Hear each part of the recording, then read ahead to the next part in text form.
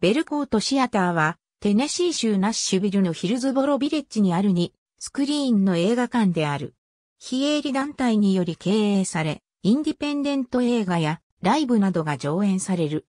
1925年、サイレント映画の劇場のヒルズボロシアターとしてオープンし、当時の最新の映写装置と市内で最大のステージを誇っていた。コミュニティの成長とともに、当時最も人気のあったナッシュビルチルドレンズシアターとグランドオールオープリーの常設劇場となった。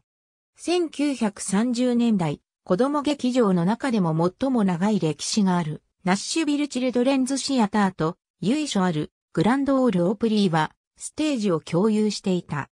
1934年から1936年のオープリーの上演は現在にも引き続き使用されるラジオ番組の形式を形作った。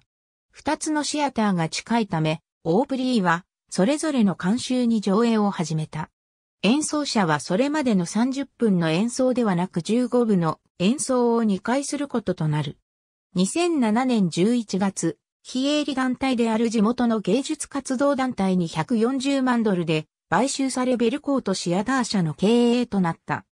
大多数がインディペンデント映画の映画事業と同様、同じ会場でライブパフォーマンスを行うなど多様なエンターテイメントイベントを行っている。